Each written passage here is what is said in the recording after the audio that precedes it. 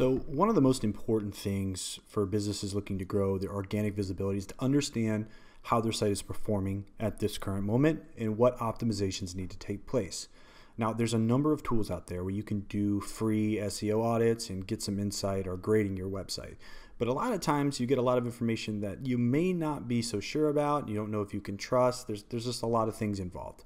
Now, one of the tools that we've been using here at our agency that we've absolutely enjoyed is called SERPstat. Now, why I like it is it really is one of those all-in-one tools when it comes to SEO. You can do a lot of things, but one of the coolest features is their audits. And I'm going to walk you through their SEO audit and how you can use this to better understand your site and also how to get the data you need in order to make the changes and optimizations you need to make.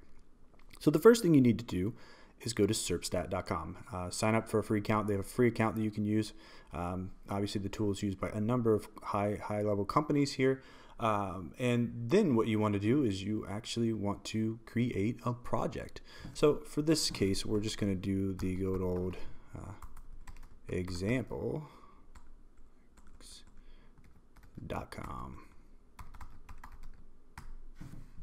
Now, you type it in, you hit search, and it's going to pull up some high level metrics here in the dashboard. Now, this is your overview. This isn't your website audit, this is just an overview. And this is going to show you kind of where your site is standing right now. You've got how visible is your site, what's the estimated amount of traffic, how many keywords are you estimated to rank for, what are the number of words that you're using in PPC, and then it breaks down the details here, keyword distribution, any subdomains, your visibility trend, your keyword trend, all really cool information. But this isn't really the website audit that we want to look at. In order to run a website audit, you go over here to the navigation and you click audit, and then we click audit summary. Now, we've never done an audit on this site, so now we need to start analysis. Walk through this. I recommend just kind of using their um, their, their setup and get going, and then it's going to run this audit. Now, once this audit's finished, we are going to go back and take a look at the results. So I'm not going to make you sit here and watch this, so we'll fast forward. All right, so now that the audit's done, they're going to give you a score. And what they're going to do is actually save your old scores and allow you to see if you've improved uh, or not um, every time you run an analysis, which is pretty awesome. So what this is going to do is give you a high level, your high priority issues, medium priority, low priority, and then also your the information also associated with this this audit.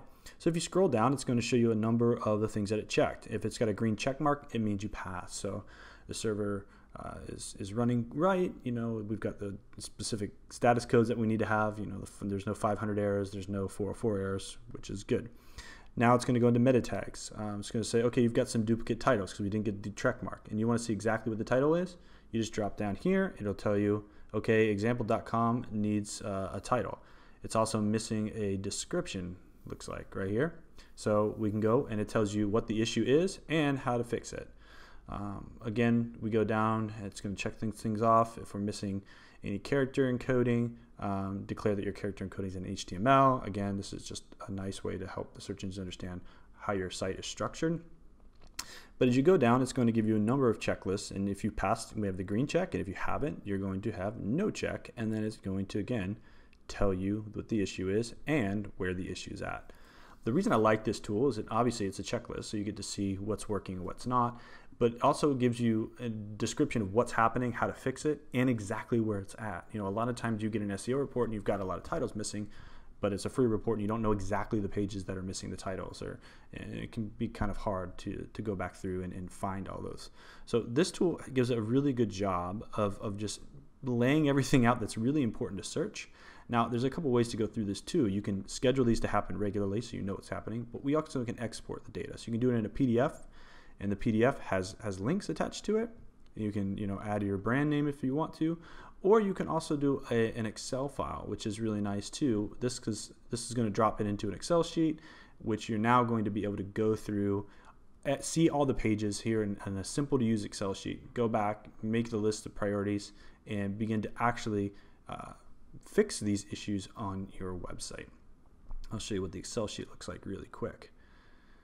I prefer to work out of Excel. It's just easy. So we've got the summary of all the issues and then any of the issues that would have popped up by here, duplicate titles.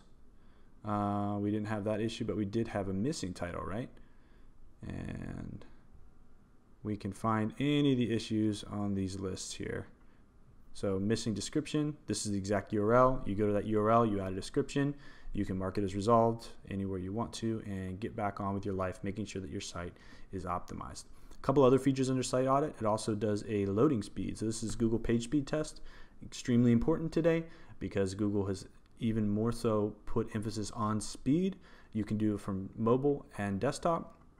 See any of the issues your site might be having, be able to address those issues, and then make sure that your site is where it needs to be in order to rank in search and engage with the users in the most optimal experience possible. Hope you guys learned something today. If you got any questions on the SERP Stat audit tool, we would love to help you out. Just comment below.